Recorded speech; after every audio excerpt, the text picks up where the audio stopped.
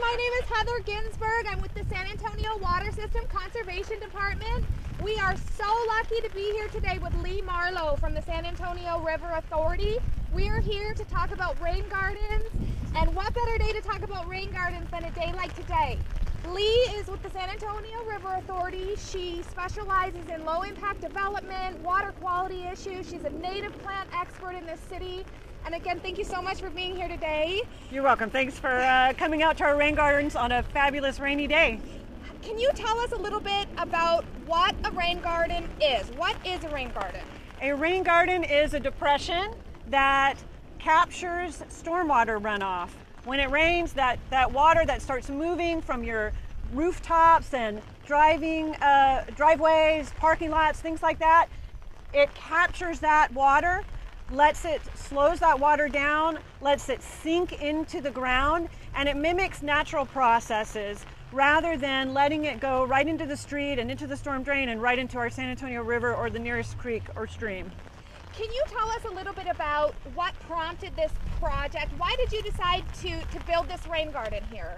That's a great question. Um, before we had these gardens in place, this was your pretty standard uh, landscape. It was turf grass and the water that would come off of our roof, 10,000 square feet of roof, would go right across that grass surface and right below us here we, we kept these uh, areas where the water used to go before the gardens. It would go very quickly onto our parking lot, right down into the nearby street, right into the storm drain, and right into the San Antonio River, which is just a few blocks away, untreated. Wow. And so now we capture uh, that water, again, from 10,000 square feet of our rooftop in these gardens. And for the most part, they stay here um, and the water gets treated by the plants and all of the organisms in the soil and uh, it gets cleaned and it, it moves through the ground in a more natural way.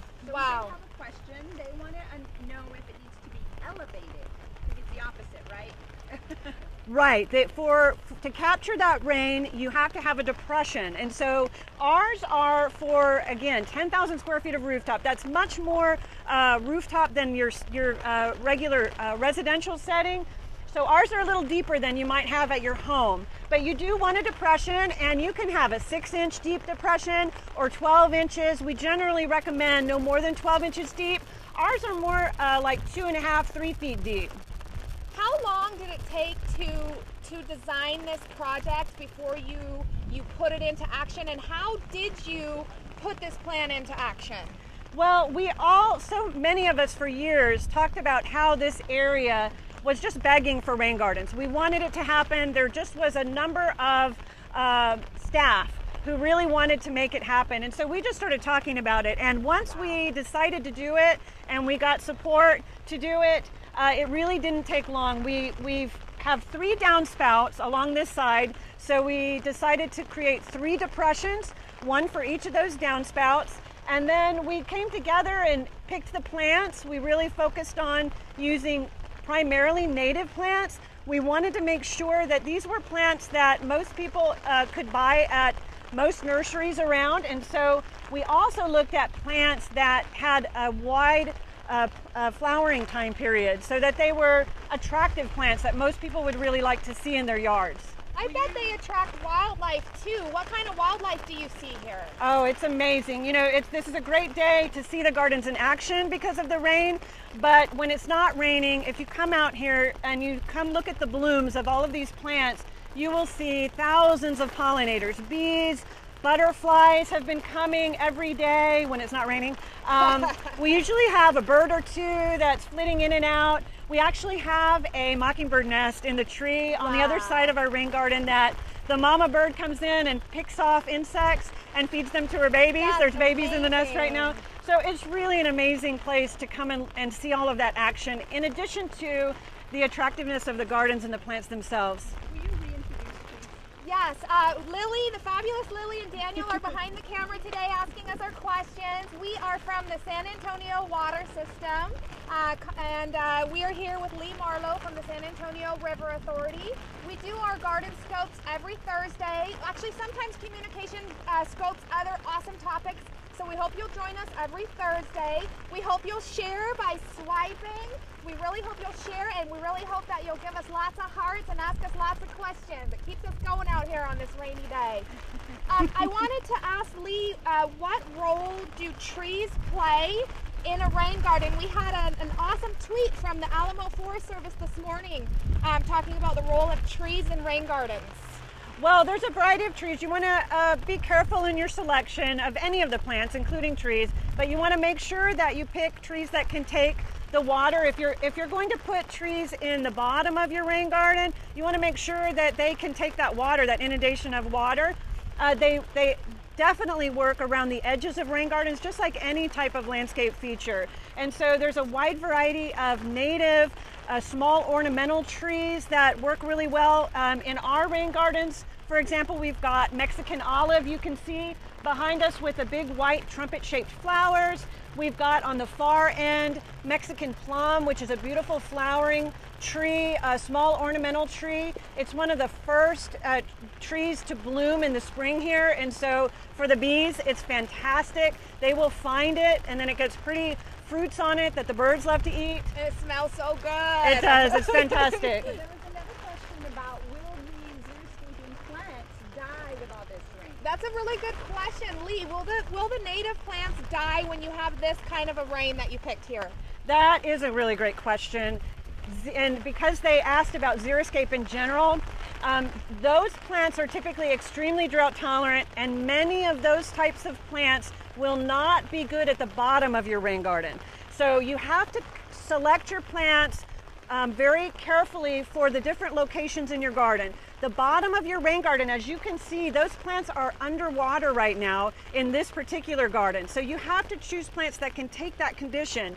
Um, many xeriscape plants can take excessive rain, but they're probably better suited on the upper edges. Um, the upper parts of the rain garden, the edges are generally more dry. And so in between on the slopes of your rain gardens, that's where you want something that's kind of intermediate.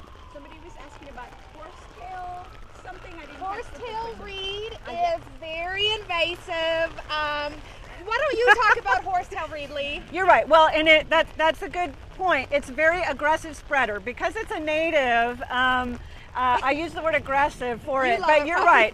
It may not be the one that you want in, in your your yard. Uh, just like we have frog fruit, which is a very aggressive spreader. Now, horsetail is an attractive native wetland type plant that uh, has very upright stems, look like green straws, and so they, they go very well with very modern architecture.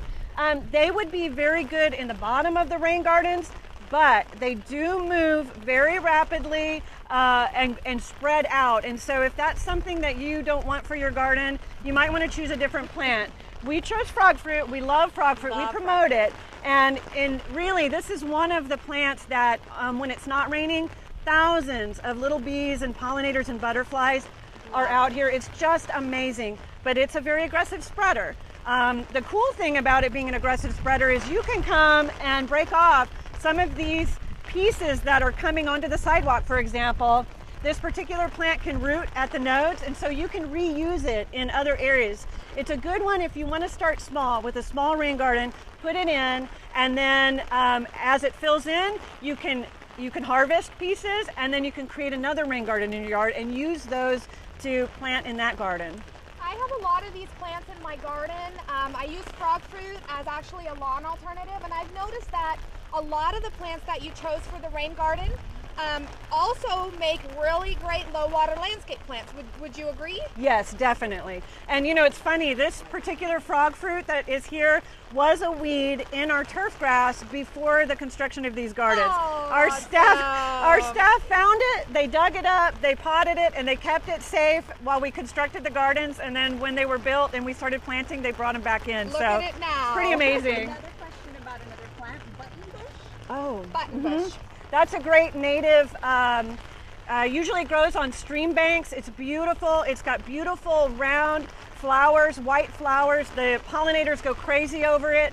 Um, it's fantastic. That one would be really great in the bottom or on the edges. Um, it can get. Uh, it's more like a bush-shaped plant, and uh, but you can you can prune it up. It, it's fantastic. It really is. And then we had a question about whether the rain garden retains water after? Yeah, how long will this water stay here after the rain stop today, do you think, Lee? That's a great question. Uh, rain gardens are usually designed so that you want it to drain within 24 hours. You really don't want it to become a stagnant water situation. So um, these particular gardens are uh, will be empty once it stops raining within 24 hours, sometimes sooner. Um, but you you don't want them to hold water for more than two days because then you start creating habitat for mosquitoes and things. The whole goal here is to slow that water down and let it sink into the ground and mimic natural processes better and, and result in, in cleaner water that reaches our, our streams and rivers. And then we had a question about the structure. So is there gravel or how, what is it that you put down to help the water drain in a timely manner? There are a variety of approaches. It really depends on your site. In our case, we just happen to have soils that allow that water to move through very quickly. So what you really want to do anytime you're thinking about this is test your soils. You, uh, we've got some information on our website on, on how to do it very simply, but you want to make sure that that water is going to drain within 24 hours. If it doesn't, there are things that you can do. Uh, it takes a little more work, but you can add a gravel layer, like you mentioned. There's other other things you can do. Uh, in our case, the soils moved the water through very quickly, so we didn't have to, to, to do anything other than excavate them out and then plant them. I remember on your awesome videos that are on y'all's website, um, there's there was actually like a calculation involved when it came to the soils and stuff like that. So that's the first thing you do before you start. Right. So um, in in a residential setting, if you've got gutters, this is a this is a pretty um, good and and very uh, common area where you have your downspout. And generally, that's a good location to consider because you've already got that water coming off your roof. It's concentrated, and you can capture it where the downspout is. And so, what you want to do is keep a rain garden at least 10 feet away from your home, any other structure, important structure like that. And you test the soil first. Um, a really simple way is to dig a hole about 12 inches deep, fill it with water, um, and let that drain while it's still wet, refill it again. Wow. And then watch how it drains. And if it drains after it's been wet that first time, um, within 24 hours, you are good to go. Make sure you call 811 before you dig. Call 811 before you dig, folks. So uh, pretty much thanks to the lightning, I think we should get wrapped up. Okay. Give us websites, tell us where we can find more information, Okay. and remind us where we can catch more periscopes. Thank you guys so much for joining us on our Garden Scope today. We do them every Thursday at 10:30. You can find us on saws.org, gardenstylesa.com, sarah.org. It's SARA, S A R A TX.org. dot org. Um, and of course, you can reach us, uh, any of us on the SAWS Facebook page. They will always make sure that they get anything to us to answer your questions that they need to. Um, thank you so much for joining us, Lee, and thank you guys, and have an awesome day. Be safe.